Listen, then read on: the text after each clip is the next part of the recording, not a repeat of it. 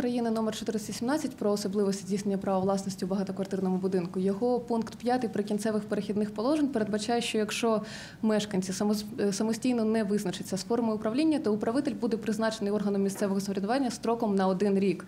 І розривати такий договір прямо передбачено в законі, що можна тільки за місяць до кінця строку дії договору. Відповідно, на 11 місяців власники квартир нежитлових приміщень в багатоквартирному будинку будуть заручниками такого управителя. Ймовірно, як юрист, я передбачаю, що можна чогось домогтися в судовому порядку. Якщо ви створите ОСББ, то відповідно зможете в судовому порядку домогтися розірвання дострокового, тому що цивільне законодавство це передбачає. Але поки будуть проблеми, тому що прямо в законі передбачено, що укладається договір строком на один рік. Дуже дякую, пані Марі. Е, Пане Андрій, скажіть, будь ласка, от е, крім теорії, от те, що зокрема, от перед нашою прес-конференцією е, до нас телефонували люди і питали перед тим, як реєструватися. Теорія зрозуміло. А чи є практика? Чи можливо будуть на цьому форумі люди, які вже безпосередньо на своєму власному досвіді? Ну, зокрема, я знаю, що ви є голов- головою одного одним з одного з ОСББ. Чи будуть інші якісь е, приклади успішних ОСББ, можливо, якісь розрахунки? Чим буде корисний цей досвід, от крім того, що теоретична база буде надана людям? Е, Так, однозначно на форум запросили е, керівників успішних ОСББ, які довели, що з тої руїни, да, в якої більшість нас живе, що можна зробити нормальний, затишний, чистий освітлений будинок. Е, Я буду окремо виступати, тому що по моєму будинку дуже багато інновацій вже запроваджено. Да. Запросили інших людей з різних регіонів, які також запровадили своїх, не тільки в своїх, і в сусідніх будинках багато програм, які вже зараз наразі сплачують набагато менше, причому при цьому отримують набагато кращі послуги, ніж їх сусіди. Е, І це дуже важливо показати людям, що воно насправді існує, тому що багато кажуть, там будинок новий, тому у нього там все нормально. Але друзі, новий будинок це нове обладнання, яке е, дуже дорого коштує. І коли воно ламається або виходить з ладу, воно коштує набагато дорожче. Тому, коли мені кажуть, що старий будинок завжди гірше ніж новий, я з цим не погоджуюсь. Е, Не забуваємо про якість будівництва наразі. Я не знаю, я багато підвалів і дахів облазив, да, тому що я багато людям допомагаю переглядати їх, оглядати будинки. Я нормальних будинків в Україні я не бачив. Можливо, я не всі будинки бачив, але там, де я був, вони, на жаль, всі е, створені з порушеннями і неякісно. Е, Наші забудовники, на жаль, я не знаю в силу яких причин, але їх або не контролюють е, достатньо, або вони хочуть дуже заробити, але вони економлять на всьому і отримуємо потім проблеми. Тому що люди вважають, що у них новий будинок. А коли ти починаєш розбиратися, то насправді будинки виглядають зовсім інакше, коли ти бачиш цю всю внутрянку. Я коли дізнався справжній стан свого будинку, я кілька ночей не міг спати. Тому що я, як голова ОСББ, несу відповідальність за те, що не дай Бог щось станеться в нашому будинку. Відповідає хто? Голова правління. І сидіти буде він.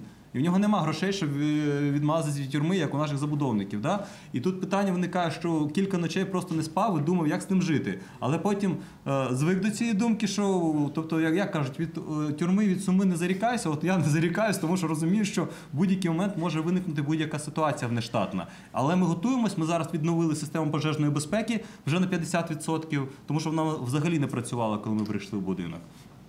Тому будемо про це розказувати людям, що насправді е, не робиться там, де ніхто не робить. Да? Тому що якщо щось почати робити, то в будь-якому разі буде якийсь результат. Якщо ми хочемо, щоб наші будинки існували, а не розвалювались, щоб в них було тепло, чисто, охайно, то для цього не треба багато зусиль і не треба бути суперпрофесіоналом. Тому що в Україні є багато людей, навіть просто ваші сусіди, вони вам допоможуть. В кожному будинку живе інженер, юрист, економіст, які допоможуть вам всі проблеми, коли зрозуміють, що вони є реальними співвласниками цього будинку. Бо ми все життя думали, я сам так думав кілька років тому. Що моя квартира, моя власність це моя квартира і все. Все, що за е, межами квартири, це не моє. А коли дізнався, що насправді що весь будинок є нашою власністю спільною, що і дах, і підвал, зовнішня стіна, що ніхто без мого дозволу на зовнішній стіні не може повісти рекламу. Просто ЖЕКи на це закривали очі, придумали термін комунальна власність і використовували на власний розсуд. Да? Це про це вже не будемо говорити. Це вже е, такий застарілий термін, його вже нема, тому повертатись до нього не слід. Але ми говоримо про те, що це все наше майно використовували будь-хто, хто завгодно. Без нашого дозволу на те, і ми маємо тепер результат, що маємо розвалені будинки і відсутність коштів на їх ремонти. От і тому треба чим швидше брати це в свої руки і запроваджувати всі ці програми, які нам дають можливість це зробити якнайкраще.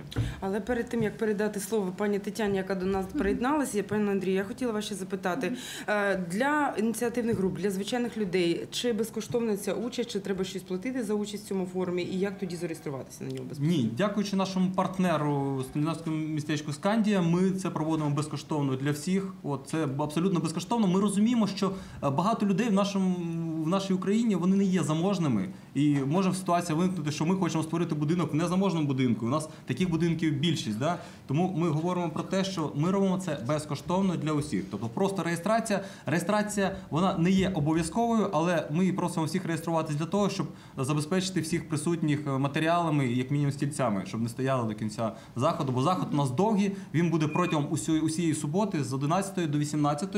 І я не впевнений, що всі спікери ще в цей час зможуть увійти, тому що у нас два напрямки для е, майбутніх ОСББ і для старих ну, то існуючих уже ОСББ, і це паралельно буде відбуватись.